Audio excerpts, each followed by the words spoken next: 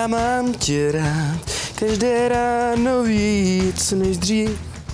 Co je to tady za bordel? O 12 mám studio já? Podívejte, argumentů by bylo hodně, ale... Oni pokračujou. Oni normálně pokračují, no tak já mám točit. Fakt, sabotéři.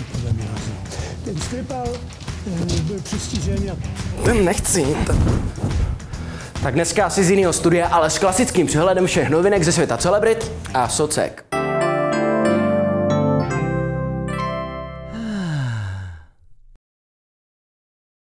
Pokud jste členy facebookových skupin, jejichž název je psán kapslokem, s vykřičníky a pokud možno alespoň jednou gramatickou chybou, je mi jasné, že o chemickém útoku v Syrii a následné americké odvetě víte úplně všechno.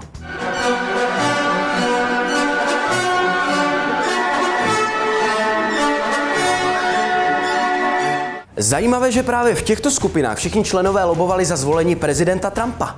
A Někteří z nás ale dají přednost oficiálním informacím, třeba těm, které by měl tlumočit tiskový mluvčí hlavy státu. Nadšení čeští novináři, neziskovkáři a pražskokavárníci prý už brzy vyrazí do první linie v Sýrii. Stále ale hledají velitele. Nějaký tip? Na tomhle pořadu nechápu jedinou věc. Teda, kromě toho, že mě za ní pořád ještě platí. Ani jednou jsme tady ještě nezmínili krále Twitteru. Nebo spíš princátko, Jirku Ovčáčka. O víkendu byl v takový ráži, že se proti němu ohradila i organizace Člověk v tísni. Což je docela slušný hukot, když vás musí okřiknout organizace tohohle typu. To se pasujete do role malého kluka na pohřbu babičky, který tahá dědu za rukáv a říká, dějo, pojď už dolů, mě to nebaví. Zajímalo by mě, zda by Jirka dokázal vpálit diskutujícím ty své tweety i naživo. Já jsem na rozdíl od vás na misi byl. Viděl jste někdy na vlastní oči ustřelenou nohu? Tak co tu ještě děláte? Proč nemíříte do Sýrie? Co novýho v showbiznisu? Jasně, kojící Klusová. O mě asi víte, že jsem taky starostlivý otec a mě teda tahle fotka sdílená na Instagramu Tomáše Kluse vůbec nepohoršuje, protože matky by měly kojit. Hlavně ty z Moravy, že? Předseda SPD Tomio Okamura vyzval ministry Šlechtovou a Stropnického k demisi. Jo, Super nápad, stejně jako ustanovit Den památky obětí holokaustu, ale členové vlády v demisi samozřejmě nemůžou podat demisi. To je jako kdybyste řekli, Dalibore Jando, co kdyby si začal nosit pořádně upnutý kalhoty, aby jsme si prohlídli tvýho hurikána? Některé věci už jsou prostě zařízený. Vždycky, když nevím, co dát do socek, zachrání mi krk právě Tomio. A nebo Karlička. Díky oběma i tentokrát.